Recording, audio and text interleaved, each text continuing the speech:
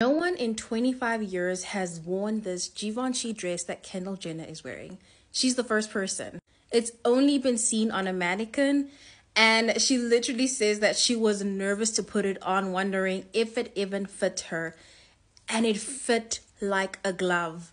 Personally, I thought it was made specifically for her, but no, this is a 1999 Givenchy dress, and it's only been on a mannequin. And then here comes Kendall Jenner, risking it for the biscuit and wearing it. Definitely one of those dresses that can be worn once and never again because of how fragile it is. The fact that it's only been on a mannequin and then fit like a glove on Kendall Jenner.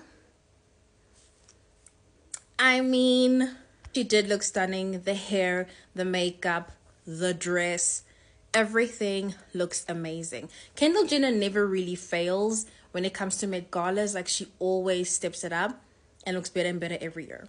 Love it.